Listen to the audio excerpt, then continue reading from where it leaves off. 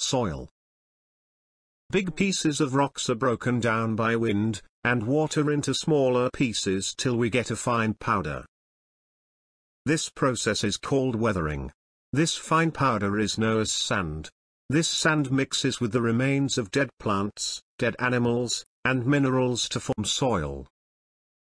Soil is very important for life on Earth. Plants grow in soil. Soil is also home to many insects and animals. Composition of soil. Soil is made up of different types of soil particles. They are sand, silt, clay, gravels, minerals, humus, air, water. Sand are the largest soil particles. Silt are smaller than sand particles, but bigger than clay particles. Clay are the smallest soil particles. Gravels are small stone and pebbles. Humus are remains of dead plants, and animals. Types of soil There are mainly three types of soil. They are, sandy soil, clay soil, and loamy soil. Sandy soil has a greater portion of sand particles. Sandy soil feels rough, and gritty. It is non-sticky when wet.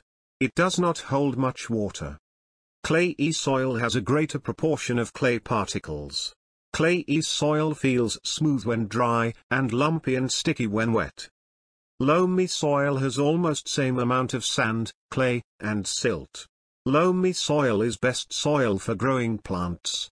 It is rich in nutrients, and humus. It allows water to pass through easily.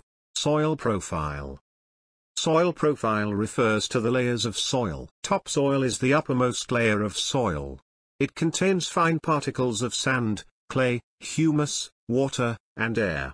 Topsoil is the best soil for the plants to grow. Subsoil is the middle layer of soil, present below the topsoil. Subsoil is hard and compact, so only the roots of big and strong plants can reach here.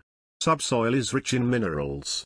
It also contains small pieces of rocks. Weathered parent rock is below the subsoil.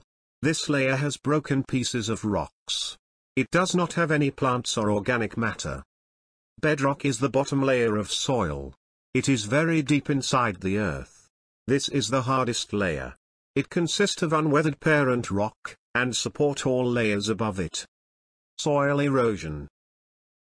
Topsoil is very fertile, because, it is rich in humus. Wind and water wash away the loose topsoil leading to soil erosion. Strong wind, heavy rainfall, and cutting down of trees increase soil erosion. Soil conservation.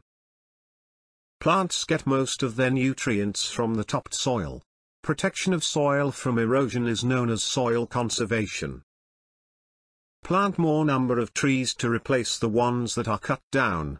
Trees and bushes should be planted in open lands. This practice does not allow the wind to take away the topsoil. Flowing water can easily wash away a lot of topsoil. Dams should be built across rivers to prevent floods. Question time.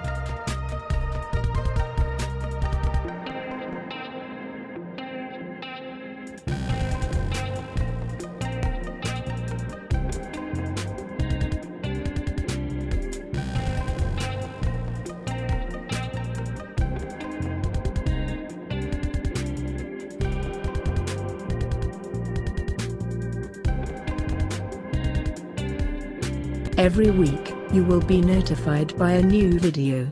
So, don't forget to subscribe, and click the notification bell. Thank you for watching Make It Easy Education.